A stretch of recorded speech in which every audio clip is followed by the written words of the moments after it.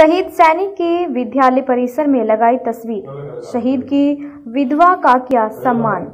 शहीद सूबेदार राजेंद्र सिंह की वैर तहसील के गाँव, रायपुर में सरकारी स्कूल के अंदर उनकी तस्वीर लगाई गई। पूर्व सैनिक संघ बयाना के अध्यक्ष बलराम कांवर के मुख्य अतिथि में एवं सुमेर सिंह गुज्जर थाना अधिकारी वैर ने शहीद के चरणों में पुष्प एवं माल्यार्पण कर नमन किया। साथ ही वीर नारी भूरो देवी का सोल ओढ़ाकर सम्मान किया। पूर्व सरपंच करतार सिंह ने कहा कि शहीद के परिजनों का एवं शहीदों का सम्मान करना चाहिए एवं पूर्व सैनिक संघ के अध्यक्ष बलराम कांवर ने कहा कि शहीद सूबेदार राजेंद्र सिंह पच्चीस राजपूत बटालियन में तैनात थे और उन्होंने अपने वीरता और साहस का परिचय देते हुए जन्मभूमि देश के लिए लड़ते हुए अपनी प्राण न्यौछावर कर दिए।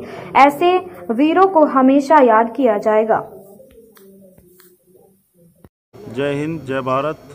आज सूबेदार शहीद राजेंद्र सिंह, रायपुर 25वीं राजपूत बटालियन, उनकी पूरी हिस्ट्री को लेकर के, उनका बोर्ड बनवा के 25 राजपूत बटालियन कमांडेंट ऑफिसर्स और उनके यहाँ से, यूनिट से जवान भेजे हैं स्कूल, जो गवर्नमेंट स्कूल रायपुर गाँव में लगवाने के लिए। और उस छोटा सा कार्यक्रम किया और उसमें वीर नारी भूरो देवी और उनकी माता और गाँव वासियों की तरफ़ से उनका सम्मान किया और उनका बोर्ड सरकारी स्कूल गाँव रायपुर में उनको लगवाया है। जय हिंद, राम राम साहब, मैं बलराम कामर पूर्व सैनिक संघ अध्यक्ष, बयाना।